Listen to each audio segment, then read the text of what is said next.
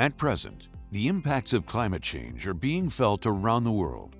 Warmer summers, fluctuating snowpack levels, shrinking water reserves, and a reduction of readily available adequate water are creating a crisis that directly harms both humans and the environment. The effects of climate change um, are interesting in the fact that with drought especially, you see sort of a whipsaw action of a couple years of very dry weather and then record levels of snow and rainfall. So you get this seesaw motion related to it. So climate change is making it a little harder to plan for. And so with less water, you need to use more of your local sources. And from the local sources, we may have some contaminants or issues of cleaning it up. Drought strains our community, our economy, and can jeopardize public health and safety.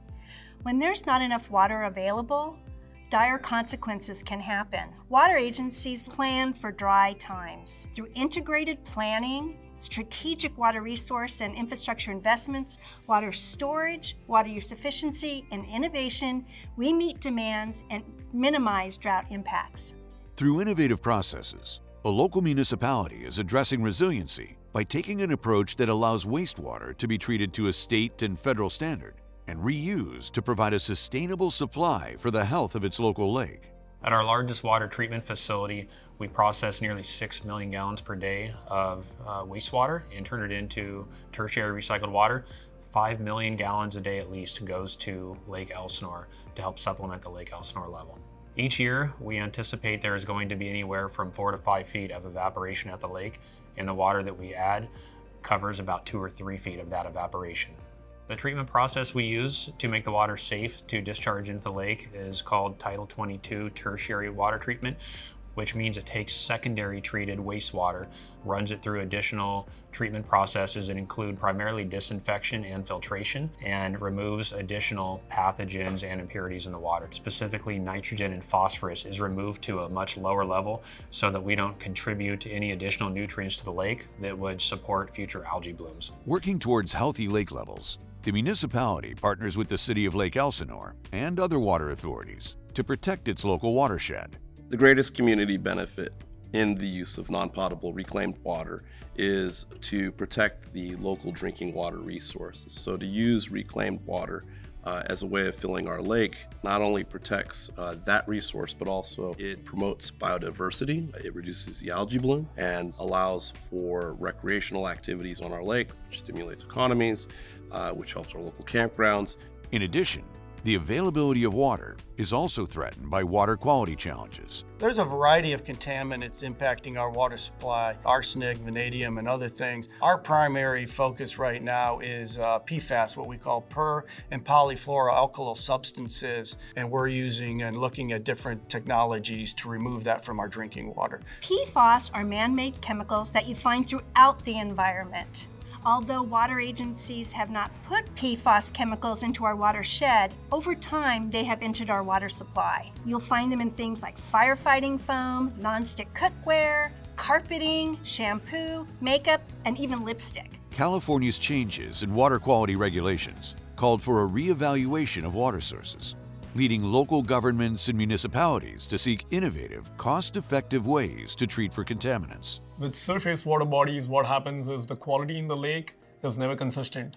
It changes throughout the seasons. In addition, the lake is at the end of a watershed. What that does is it brings a lot of pollutants, contaminants into the lake. On top of that, we also have surface water disinfection rules that we need to comply with. So you take all of this and then you add PFAS on top, you can understand how complicated this is when it comes to PFAS removal.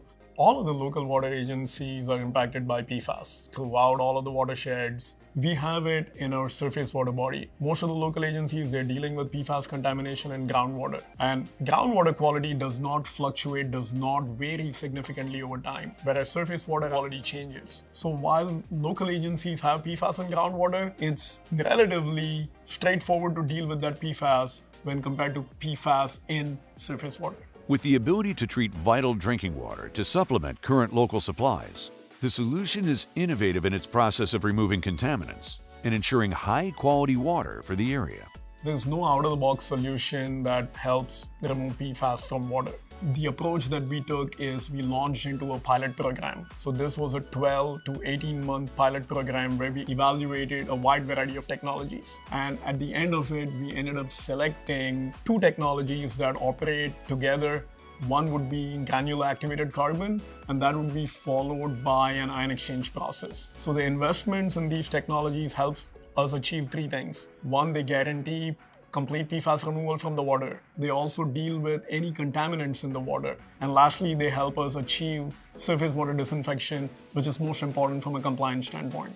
One of the distinctive aspects of the pilot program that we launched is we used a clay-based filter media.